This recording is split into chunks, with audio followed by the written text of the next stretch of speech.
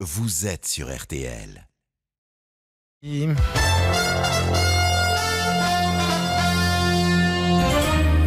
7h30, le tout info sur RTL avec Yann Boucherie. Bonjour Yann. Bonjour Stéphane, bonjour à tous. Le tout info pour tout entendre de l'actualité de ce samedi 6 juin.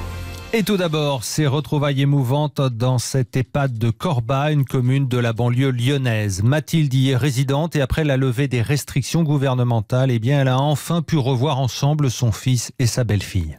T'as pas trop manqué? Ah bah si, j'ai fait que de penser à vous. Ah bah oui, bah nous aussi, hein. On était malheureux là, hein. On avait hâte de revenir. Ah oui.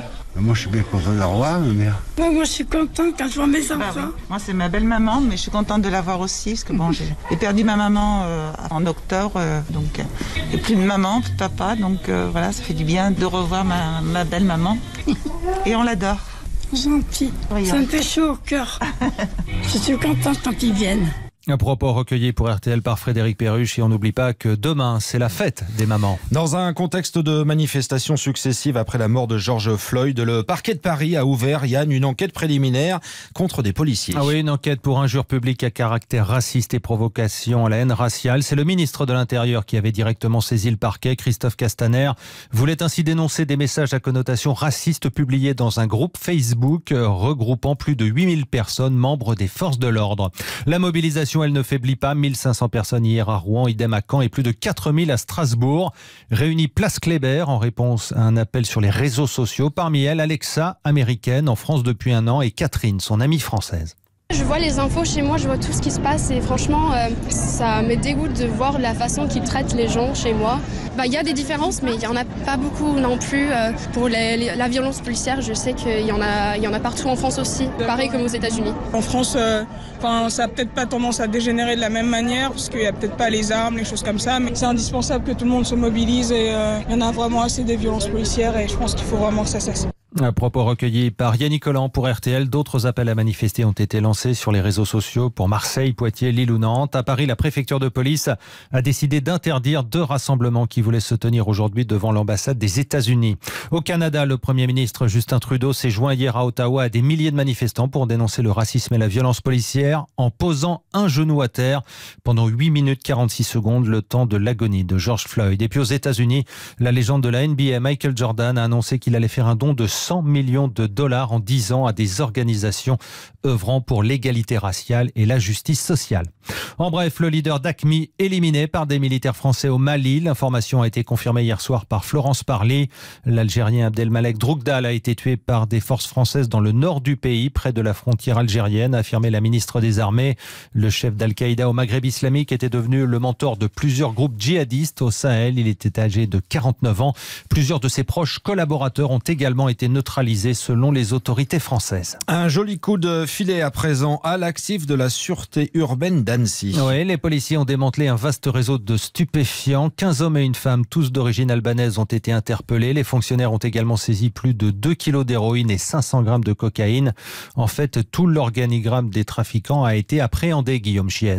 Oui, une tête de réseau, des gérants de points de vente et des revendeurs pour faire tourner ce trafic de drogue dure. Les 16 interpellés sont issus de la même région en Albanie et suivent une mécanique bien rodée. Tous les six mois, par roulement, ils parcourent 1300 km pour s'établir en Haute-Savoie, le temps d'écouler cocaïne et héroïne et de rentrer ensuite au pays. Ce réseau-là a été suivi depuis plusieurs mois par le groupe STUP de la Sûreté urbaine d'Annecy. Une longue enquête faite de traçage téléphonique, d'observation sur le terrain et de balises GPS. Au final, c'est la réouverture des frontières après le confinement qui a précipité les interpellations mardi dernier. Les vendeurs comptaient rentrer euh, très vite en Albanie et disparaître des radars de la police française. Un coup de filet réussi puisque tout l'organigramme du réseau est aujourd'hui derrière les barreaux. Le récit de Guillaume Chies pour RTL. Un probable règlement de compte hier soir à Marseille. Un homme de 37 ans a été tué par balle alors qu'il circulait en voiture près de la cité Félix Piat. La victime était connue des services de police pour des affaires de stupéfiants. Et puis les partiels se tiendront normalement à la Sorbonne pour ce deuxième semestre. Le tribunal administratif de Paris a annulé la décision qui prévoyait de ne pas prendre en compte les notes inférieures à 10 lors des partiels en raison du coronavirus. L'université a maintenant 8 jours pour mettre en place de nouvelles modalités de passage des examens. Au niveau sanitaire, l'épidémie de coronavirus est sous contrôle, mais la vigilance maintenue pour ce premier week-end sans la restriction des 100 km. Le Covid-19 a causé la mort de 46 personnes dans les hôpitaux lors des dernières 24 heures, portant le bilan à 29 111 décès depuis le début de la pandémie. Moins de 1100 malades sont désormais traités dans les services de réanimation. Pour autant, pas de relâchement dans les mesures de précaution, notamment dans les bars, au risque de voir certains établissements obligés de fermer. C'est ce qui s'est passé sur le port de Vannes cette semaine avec des comportements excessifs. Les propriétaires eux-mêmes ont décidé de sévir comme Stéphane, le patron du tarmac. Il y a eu visiblement quelques débordements et nous on a été un peu irrités à l'idée de lire que les débordements et le manque de distanciation physique étaient dus au bar alors qu'on a respecté strictement les protocoles qui étaient imposés. On a fait en sorte, comme vous le constatez d'ailleurs, que les tables soient toutes à un mètre les unes des autres, que les clients portent des masques, que nous-mêmes nous portons des masques. Alors quand on a vu dans les journaux le lendemain que les sanctions risquaient de tomber, euh, on a préféré fermer nos établissements pour montrer notre mécontentement. On fait bien notre boulot, euh, la sécurité publique, euh, ça nous incombe pas. Un propos recueilli pour RTL par Nicolas Bobby à Vannes, dans le Morbihan. Les sports en bref et le football. Le marché des transferts va s'animer dès le 8 juin. Un mercato franco-français autorisé dès lundi.